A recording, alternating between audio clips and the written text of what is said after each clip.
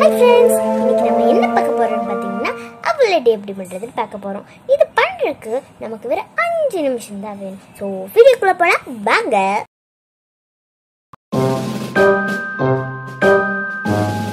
First stove on பண்ணிட்டு ஒரு pan வச்சுக்கோங்க. பேன் வச்சதுக்கப்புறமா ஒரு கப் அளவு ஒரு சின்ன கப் அளவு கரும் சர்க்கரையை போட்டு நல்லா மிக்ஸ் பண்ணிக்கலாம்.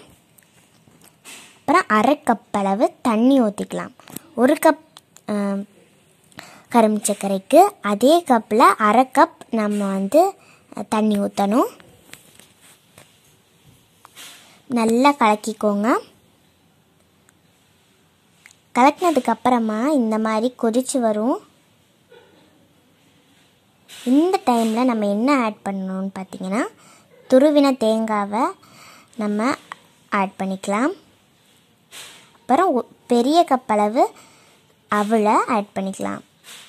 நல்லா மிக்ஸ் பண்ணிக்கோங்க. உங்களுக்கு அவள் தேவைப்பட்டுச்சுன்னா நீங்கள் ஆட் பண்ணிக்கலாம். இன்னும். நானும் கொஞ்சம் அவல் இன்னும் தேவைப்படுது நான் ஆட் பண்ணிக்கிறேன்.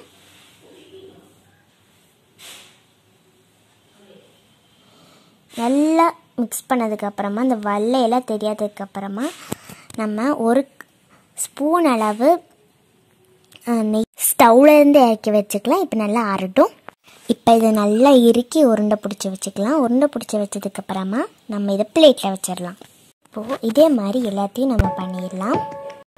ரொம்ப ரொம்ப ஈஸியான டேஸ்டான யம்மியான டெலிஷியஸான நம்ம அவளோட ரெடி